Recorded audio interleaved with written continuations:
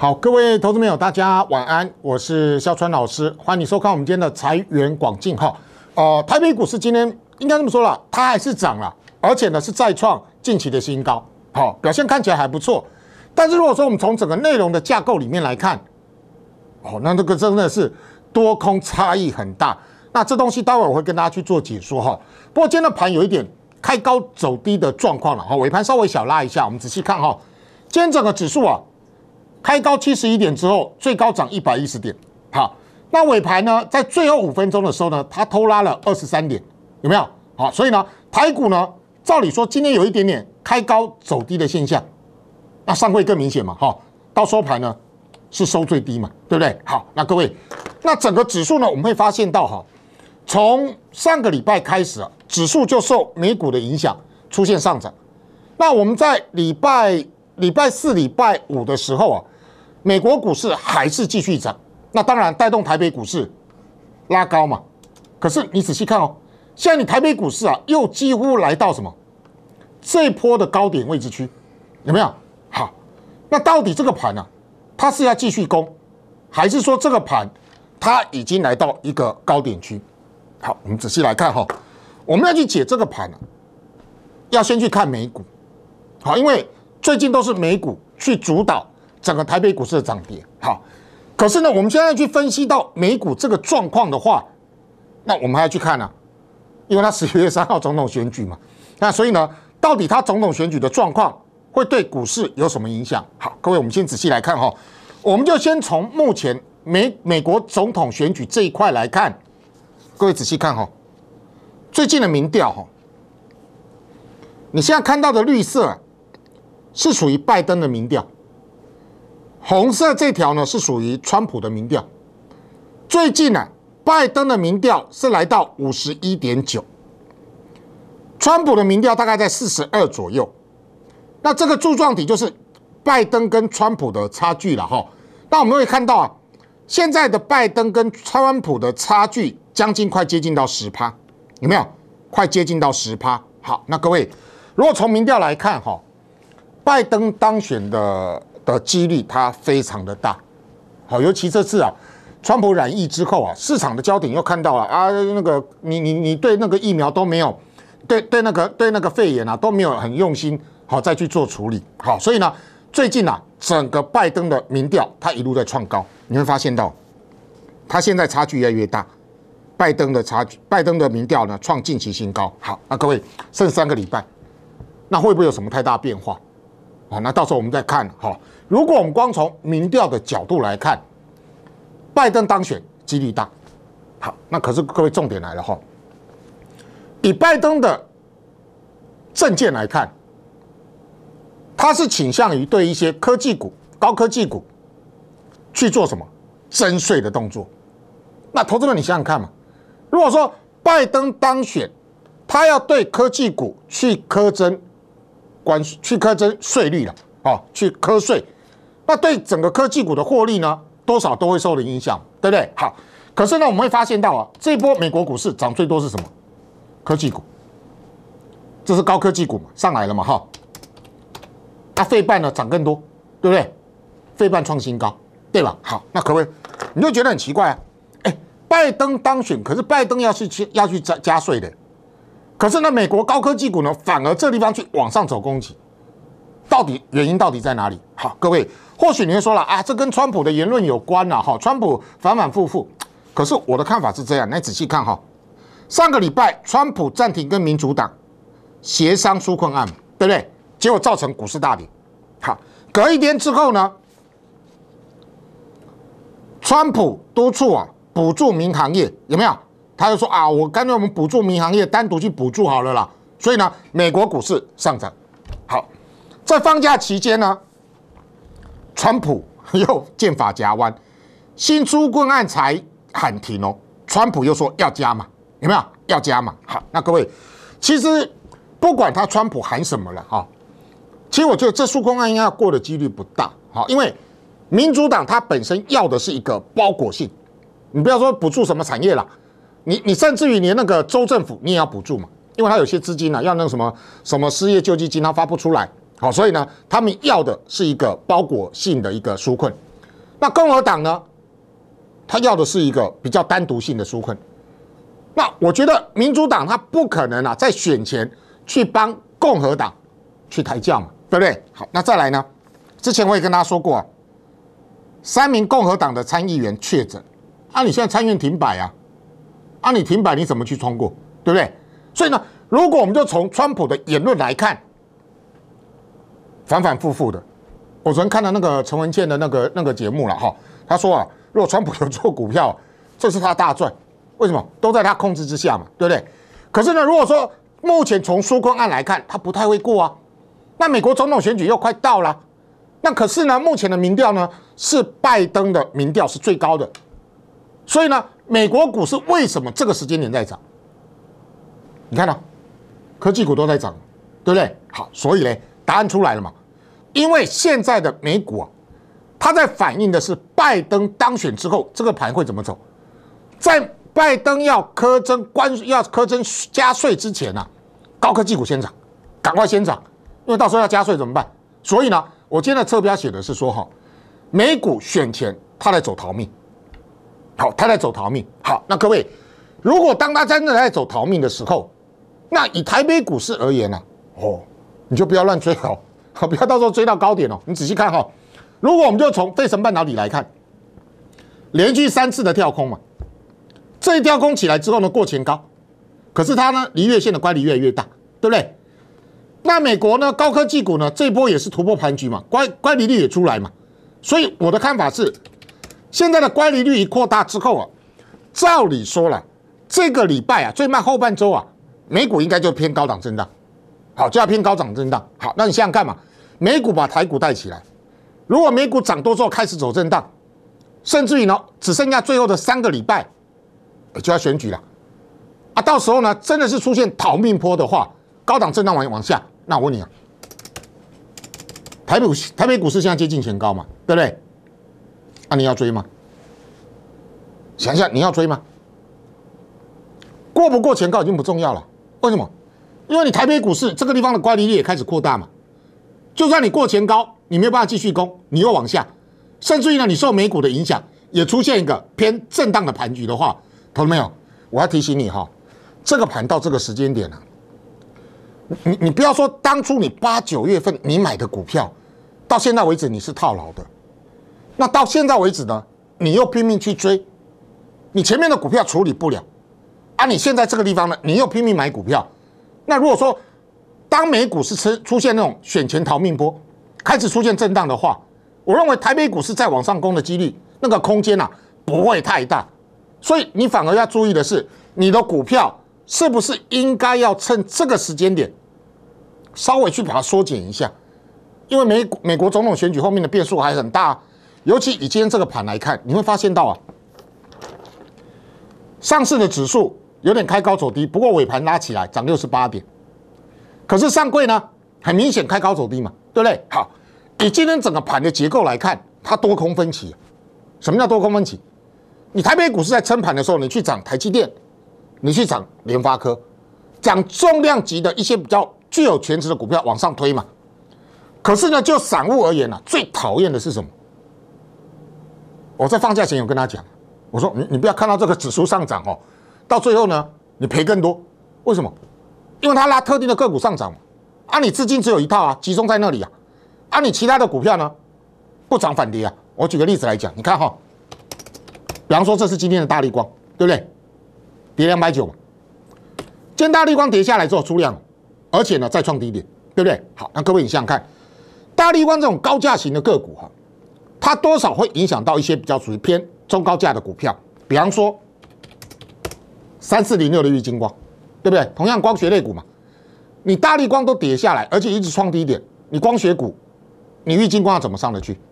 所以今天玉光跌跌下来之后呢，也是出量，对不对？好，可是投资没有，你有没有想到过，当今天大力光一跌下来的时候，它所拖累的，它不只是在电子类股的一些高价股，它拖累最严重的，反而是生计，有没有？你注意看哦，为什么我跟你说生计？你看哈。今天大力光嘛，跌下来嘛，对不对？好，跌了二十两百九十块。可是呢，今天的生技股，你看哦，四一七一的瑞基打到跌停板创低点，对不对？A B C K Y 这类型的瑞驰，股价当初从六七月份见高点之后，中间弹一下。啊，如果说你在高点买的，到现在为止你也没办法解套啊。股价现在为止呢，达到多少？达到九十六块，对不对？我们不要说前面那一波了，我们从一百五到现在为止来看，股价跌了多少？跌了超过五十块，一张是五万块，对不对？好，那各位你想想看哈，当你那些高价的生技股都跌下来，其他的个股它撑不住啊。举个例子来说了哈，刚刚我们看到了瑞瑞驰跌下来，创近期的低点。四一七一的瑞基，这波从四百三十块跌到现在是一百六十一块，对不对？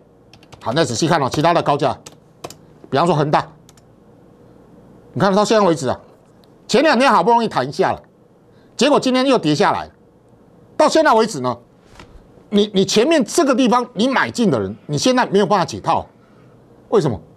上都上不去啊，对不对？再仔细来看嘛。升华科之前一堆人喊嘛，等你涨停板打开之后，你买得到的时候，你买在高点。到现在为止呢，你再仔细来看其他的个股，你看宝林富锦，到现在为止呢，也是一样嘛，对不对？你当初五六月份买的，中间没什么谈哦，到现在为止又跌。当这些个股高价的升气股一跌下来，你就会发现到，你看中裕。创破断低点，有没有？前一波一弹去追的，到现在为止没办法解套。当这一类型的个股都跌，你看那个四一三七的利丰再创低点，对不对？还有呢，建雅也快创低点，是不是这样？对不对？好，所以呢，你会发现到现在很多生技股它都一路跌，一路跌，一路跌。为什么当初在八九月份的时候，我一直跟你讲，你不要乱买哦，不要看到生技涨生技，买生技。看到风电涨买风电，看到太阳能你买太阳能，看到塑化涨你买塑化，懂没有？为什么这个盘我跟你讲说，台北股市你要预防的是什么？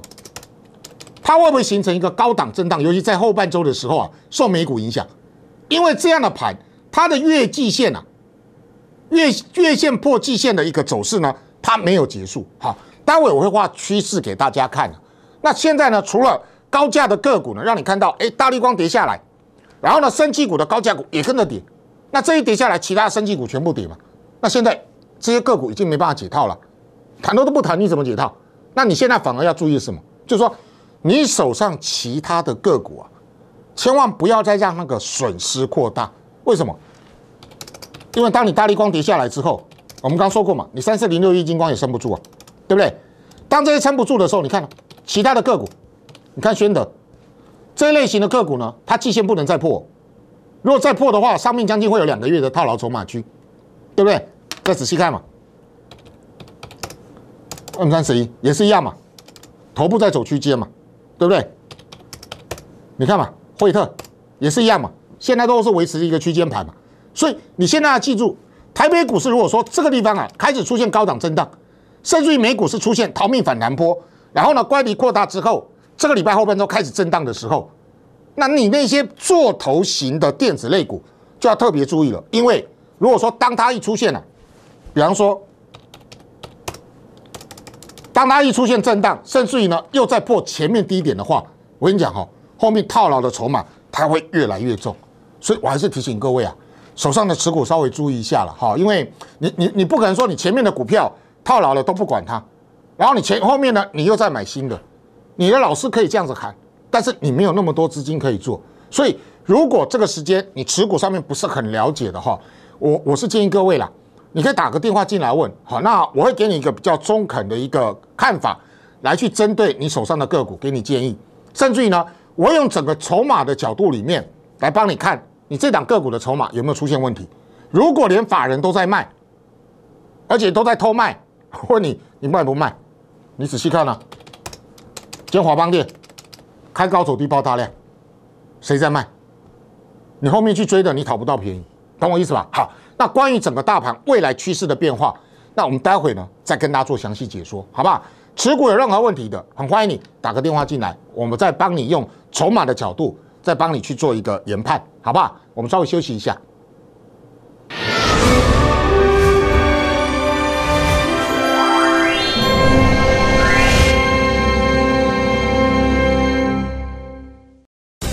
韵达投顾核心操盘团队，帮助您不再望股兴叹。特别开放专线，让您立刻享受财富的拥抱。立刻速拨零二二七八一零九零九，只要拨通，就让您发很久，发很久。二七八一零九零九，韵达投顾核心操盘团队，帮助您不再望股兴叹。特别开放专线，让您立刻享受财富的拥抱。那个速拨零二二七八一零九零九，只要拨通，就让您发很久，发很久。二七八一零九零九。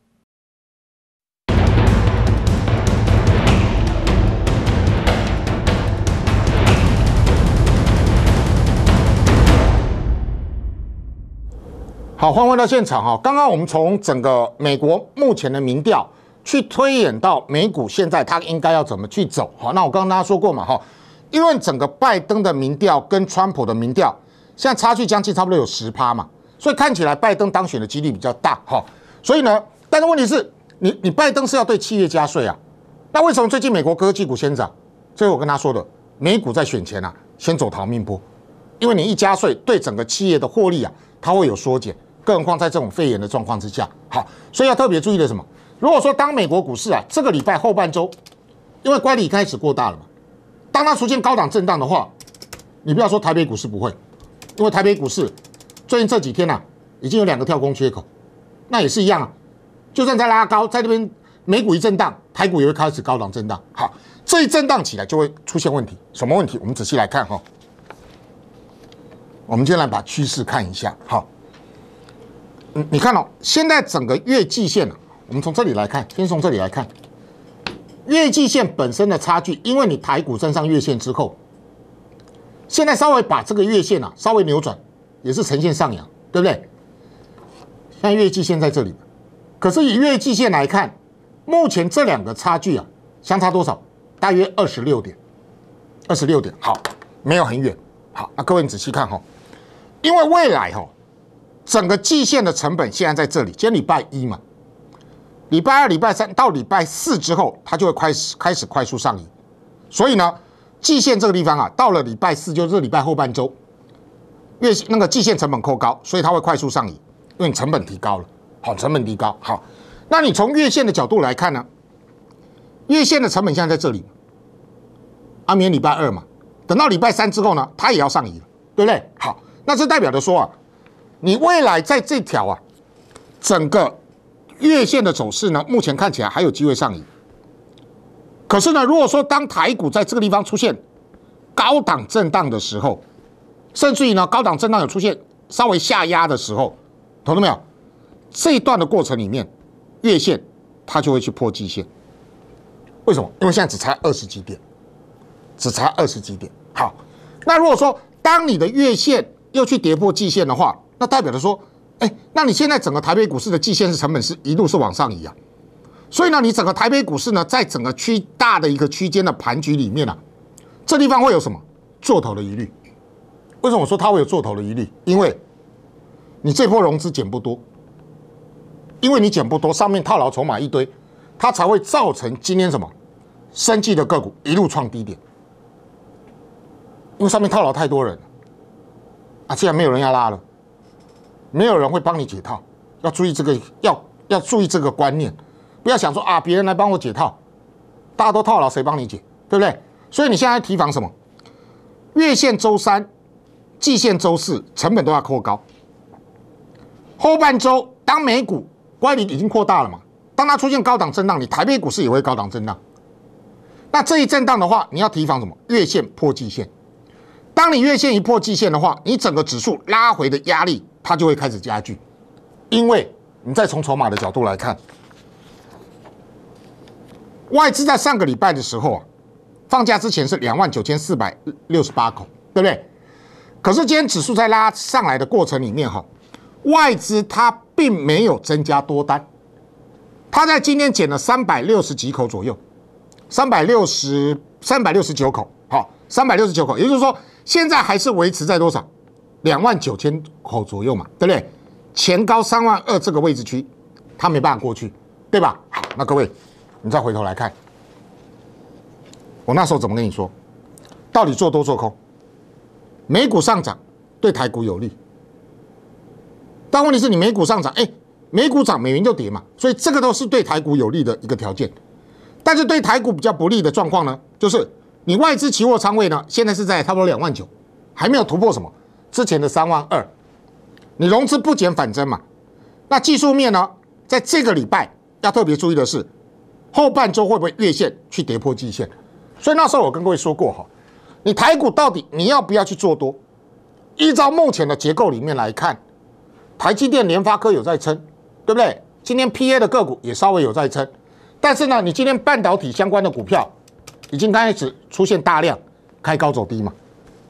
那代表说你现在的市场的的量集中在特定的个股身上。当你一集中在特定的个股身上的时候，那些不需要量的股票就一直让你看到创低点，对不对？所以呢，台北股市要怎么做？要预防什么？这个礼拜后半周会不会高档震荡？当你出现高档震荡，你融资又不减，又出现高档震荡的时候，我建议各位了哈，指数的操作，我们之前有跟各位讲过，七月底八月份我们都逢高空，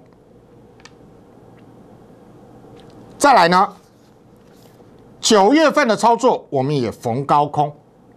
对不对？后面呢，稍微有一点，稍微去抢一下反弹，几笔的反弹。到了十月份的时候，我跟大家讲，这个盘我本原本是说，哎，我认为是看区间了。那因为你美股上去嘛，你台股也上去，所以当初我有跟大家讲，逢高空之外要逢低嘛。可是重点是啊，最近也没什么低点了，台北股都开高嘛，都开高开高嘛。但是我刚好跟各位说过，整个指数后半周的时候要留意什么？月线周三，季线周四，它要扣高点。如果再搭配整个美股呢，它在创高，创高乖离率越来越大。当你越来越大的时候，台北股市后面呢震荡幅度它就会加剧。所以呢，我建议哈，这个礼拜的后半周要特别留意逢高空的这一段，后面一定会有大行情，因为你已经涨多了，乖离率越来越大。然后呢？当你这边开始走震荡的时候，因为美股也开始走区间嘛，那你台北股市呢？现在结构上面是松散的嘛？因为你涨特定的个股，其他的个股都在跌。当你去涨这些特定的个股，涨到一定的程度的时候，涨不上去了，那怎么办？开始一压回。那我跟你讲，逢高空这个动作，一定会有上百点的行情。所以我建议各位啊，如果说在这个时间点，你想要去掌握后面比较大的行情，来帮你创造更大的利润的话，好好把握这礼拜后半周后逢高空的机会，因为后面的盘势它很有机会出现高档震荡。一高档震荡的时候，如尤其是爆量的话，它很有机会像这样开高之后走低。那如果说以这样子开高走低的话，我记得当初啊，在七月底的时候，七月二十八号，那时候我们逢高空嘛。空了两笔，一笔三百点，一笔两百多点，对不对？那我认为这个礼拜后半周还有机会超过百点的行情，就要在这里发生。所以你想要用一个一个比较小的风险去帮你赚取更大的一个空间的话，一定要赶快跟上脚步，好不好？但是呢，我比较担心各位的是手上个股的问题了。好，因为目前你会发现到嘛，市场轮动的速度从八九月份，从整个生计。到整个太阳能，甚至于到整个风电，到整个塑化，到整个航运，到今天为止又涨回到台积电这些比较具有全值的股票。但是当涨涨这些个股的时候呢，你的股票却上不去。所以股票涨，你就说指数涨，结果散户赔更多，这对你而言绝对不是一个好的现象。如果说指数不涨的话呢，手上的个股不就很麻烦，对不对？所以呢，今天你如果说你手上的持股有任何问题的，我跟他说过哈。我会针对你手上的个股，我再帮你去算筹码，到底法人在这个时间点有没有在偷卖嘛？甚至于主力呢，他在这个时间点是不是逢高去到货，或者是呢他去压低去出货？这些东西都要看个股来去做说明。所以我建议各位了哈，持股不知道该怎么操作的，赶快让我来看一下。那我建议你哈，指数的部分呢，后半周要掌握这个逢高空的机会，一定会有大行情出现，一定要好好把握，好不好？那祝大家操作顺利，我们明天见，拜拜。